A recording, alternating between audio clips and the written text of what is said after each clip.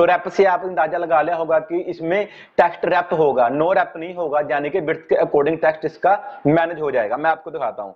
अगर मैं अब यहाँ पर विथ स्पेस प्री लाइन की जगह कर दूँ प्री रैप सेव करूँ तो क्या होगा कि यहाँ पर, ये देखो, यहाँ पर आ रहा, अगर मैं यहाँ पर पी टैग लगाऊँ लोरम लगाऊँ, और यहाँ पर मैं 17 वर्ड कर देता हूँ, अब देखना, एक ही लाइन में टेक्स्ट आ गया ना बट यहाँ पर नहीं आएगा, क्योंकि ये रैप है। अगर ये प्री होता नो रैप होता, तब ये एक ही लाइन में टेक्स्ट आ जाना था अगर मैं यहाँ पर फिर से पी का यूज़ करूँगा सिंपल प्री तो ये देखना, तब ये ऐसा आ जाएगा जैसा कि हमने यहाँ पर लगाया है।